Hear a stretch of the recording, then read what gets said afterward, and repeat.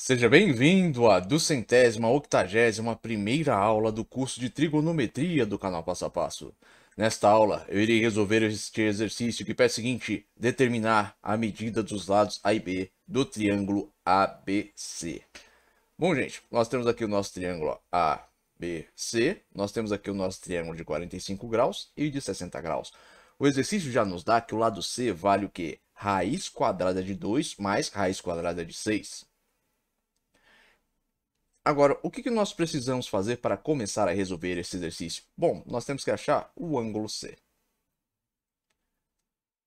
E para isso, lembre-se do seguinte, ó. A soma dos ângulos internos de um triângulo tem que dar 180 graus. Então, se eu quero achar este ângulo aqui, basta o quê? Subtrair de 180 graus a soma dos dois ângulos que eu já tenho. Então, eu vou ficar com 180 graus menos 60 mais 40. Ou seja, arco de 60 graus mais arco de 45 graus vai dar o quê? 105 graus. 180 graus menos 105 graus, 75 graus. Então, este ângulo aqui vale 75 graus. Agora, antes de prosseguir aqui na resolução deste exercício, eu vou dar um recado aqui para vocês. Todo conteúdo disponível aqui no canal Passo a Passo é gratuito, mas se você quiser contribuir de forma voluntária com este canal, você poderá fazer isso através desse Pix. Esse Pix estará presente na descrição deste vídeo. Agora retornando aqui ó, para o exercício. A próxima etapa vai ser o seguinte. Ó. Teorema dos senos. Eu tenho que lado A sobre o seno do ângulo A vai ser igual ao lado B sobre o seno do ângulo B, que vai ser igual ao lado C sobre o seno do ângulo C. Trazendo isso aqui para o que nós temos, nós temos o quê? A medida do ângulo do lado C. Eu quero saber qual é a do A, então vou ter o quê? Aplicando o teorema dos senos. Lado A sobre o seno do ângulo A vai ser igual ao quê? A lado C sobre o seno do ângulo C. Aí você me pergunta, tá, mas qual é o seno do ângulo A e qual é o seno do ângulo C? Gente, a gente já tem aqui, ó. O A aqui é o de 45 graus, o C é de 75. Logo eu vou ter isso aqui, ó. Eu tenho, qual é a medida do lado C? Raiz quadrada de 2 mais raiz quadrada de 6. Qual é o seno do, é, do lado C aqui? É o que? É o seno do ar de 75 graus. Qual é o seno de A? Vai ser o quê?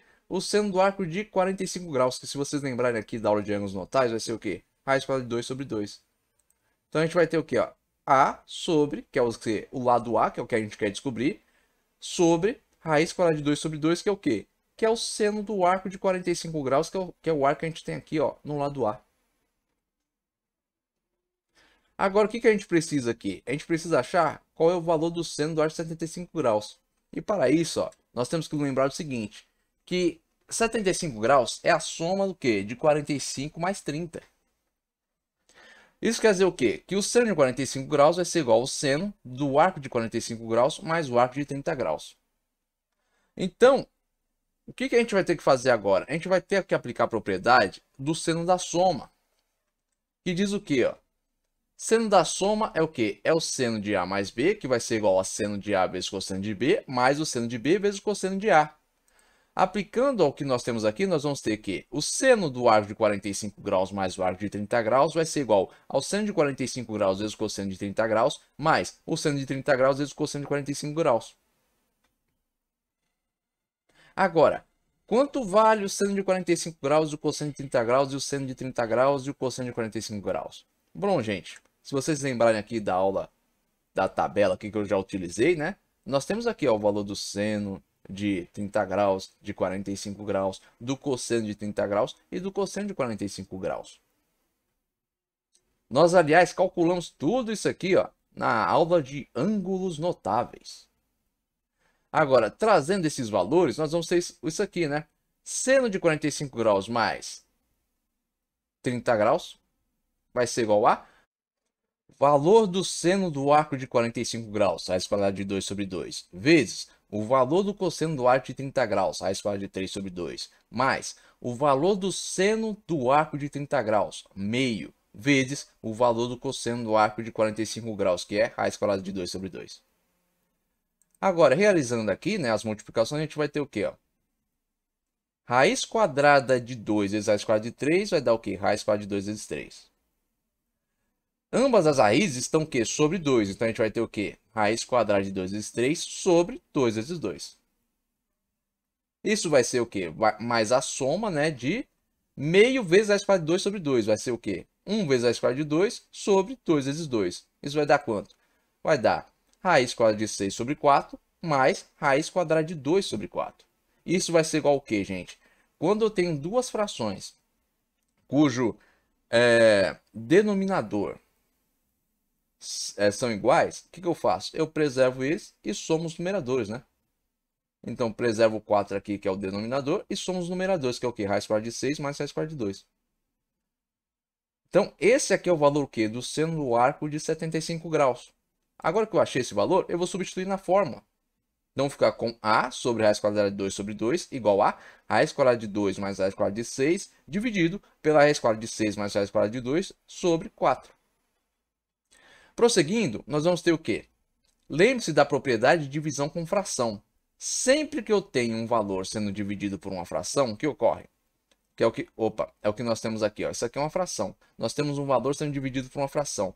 Este valor vai fazer o quê? Ele vai passar para cima, invertido e multiplicando. Ou seja, o seu numerador vai virar denominador, o seu denominador vai virar numerador e ele vai passar a multiplicar o valor que antes estava dividindo. Logo, a gente vai ficar com isso aqui, ó. A sobre raiz quadrada de 2 sobre 2 vai ser igual ao quê? A raiz quadrada de 2 mais raiz quadrada de 6 sobre 1 vezes 4 sobre raiz quadrada de 6 mais raiz quadrada de 2.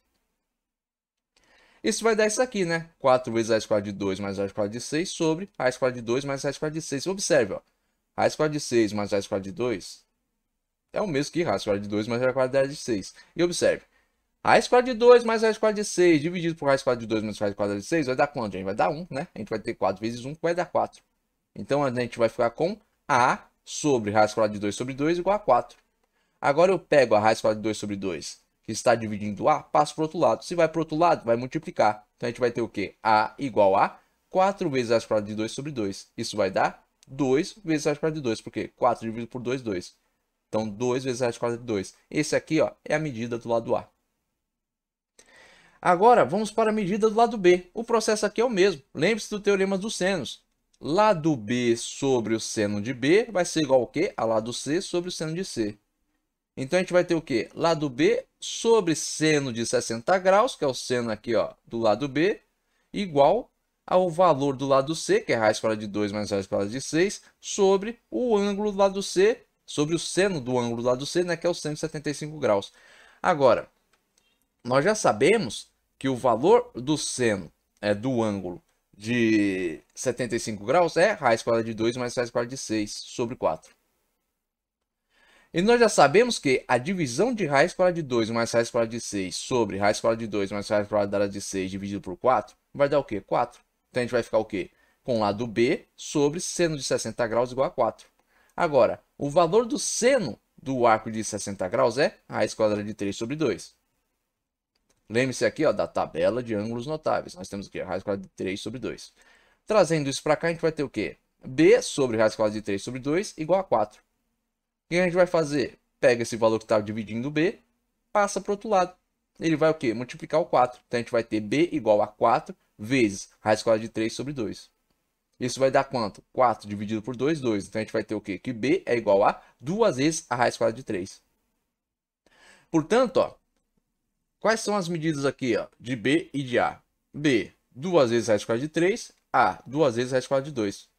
Bom, com isso aqui, ó, nós determinamos as medidas dos lados A e B do triângulo ABC.